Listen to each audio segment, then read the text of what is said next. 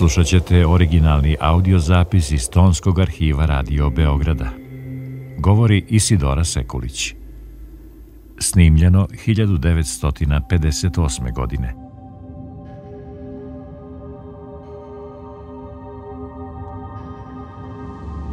Vidim vojsku današnjih darovitih, radnih i kulture gladnih mladih ljudi.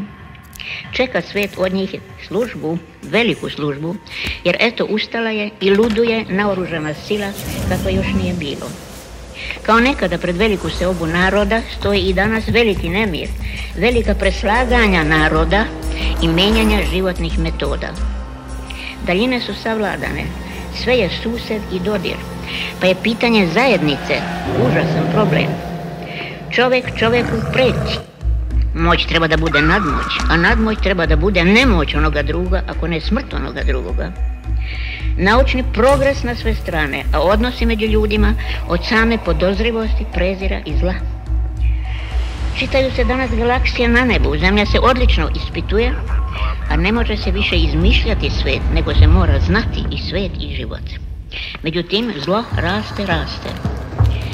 Vertikalne gluposti rastu, bombe su svugdje spremne, a idu priče o zonama, o zonama neutralnosti, o zonama neatomskim, čak o zonama popuštanja.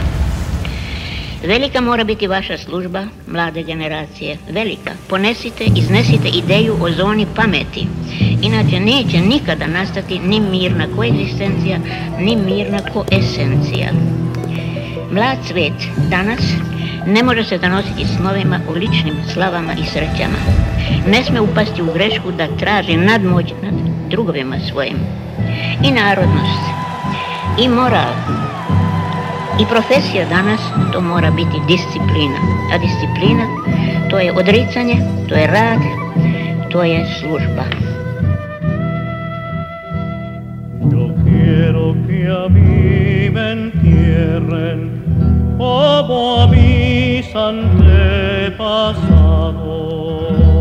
Yo quiero que a mí